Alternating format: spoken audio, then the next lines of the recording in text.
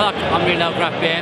I have La Pirata Craft Beer, and it's the American IPA coming in at 5% ABV. Uh, we've got a one finger white head, nice golden amber colour, good levels of carbonation. It's pretty good. Let's get the aroma. Yes, it's got a nice citrus tone to it, nice biscuit malt coming through.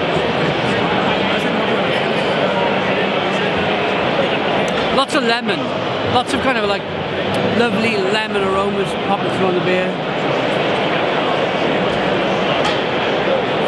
A bit of orange peel, a proper, I would say, West Coast style IPA. Barcelona Beer Festival 2018. Let's dive in. Cheers.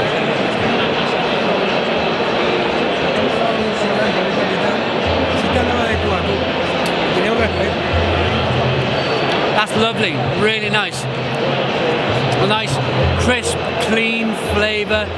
Lots of biscuit malt to come in to begin with, followed by quite a nice, hoppy, West Coast style finish on the back end. Lots of grapefruit, lots of orange peel.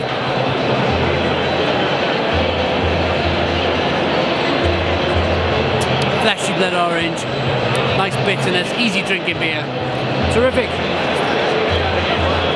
Cerveza de Pirata. I got there. No, I don't. I had their uh, placemat to remind me of the name of the beer. There's, there's literally. Well.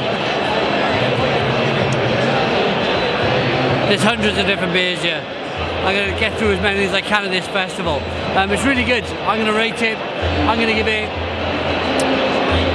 a 9 out of 10. So 9 out of 10 from Real Craft Beer. Please put your comments in the comments box, subscribe to our daily beer reviews, give us a big fat thumbs up, boom, and cheers.